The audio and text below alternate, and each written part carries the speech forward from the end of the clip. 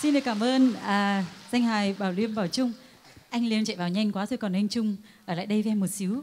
À, quý vị khán giả chắc là ở đây nhiều người không biết rằng à, nổi tiếng là một nghệ sĩ hài của sân khấu miền Nam. Nhưng trước đây ấy, thì anh Bảo Trung lại là một diễn viên cải lương, đúng không anh? Dạ. À, thế thì à, ngày hôm nay em thấy anh hát rất nhiều rồi nhưng thực ra là toàn hát chơi chơi tặng khán giả.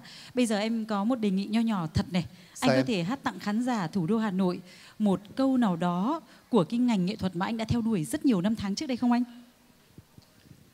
À, khi bà Bảo Trung à, ở nước ngoài thì anh anh Dượng Râu có có điện qua à, có lời mời là Bảo Trung với Bảo Liêm về đây để phục vụ cái cái xuân ba miền. Nhưng mà lúc đó thì anh Vượng Râu có nói rằng à, Bảo Chung diễn chung với ảnh một cái vở nữa. Nhưng mà vì xa xôi quá thành ra không có tập uh, kịch bản được. Đã xin hẹn tất cả quý vị uh, lần tới Bảo Chung sẽ hát với Vượng Râu.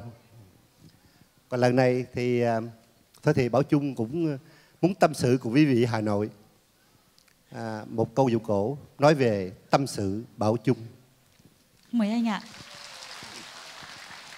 Khi tôi vừa bước xuống tới đội bài thôi thì có gặp mấy cô ở Hà Nội mới nói rằng ô cái ông Bảo Trung này ông dê dữ lắm nè. Cái tôi nói dê hồi nào Ủa như vậy là có dê không bà con?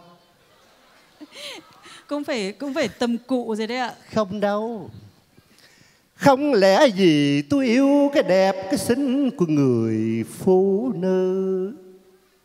Mà bà con nỡ ghép cho tôi hai cái chữ dây sâm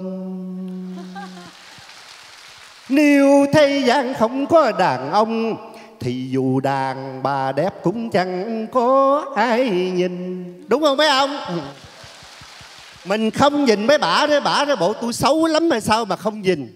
Mà mình nhìn, mấy bả nói là mình dê. Ngày xưa đàn ông bảy thiếp năm thê, đàn bà chịu cánh phụ thế có một lần. Ngày ngày nay cớ tạo xoay dần, đàn bà còn dê bạo gấp trăm lần đàn ông. Thank you cảm ơn quý vị cảm ơn quý vị thật nhiều. Vô nhẹ.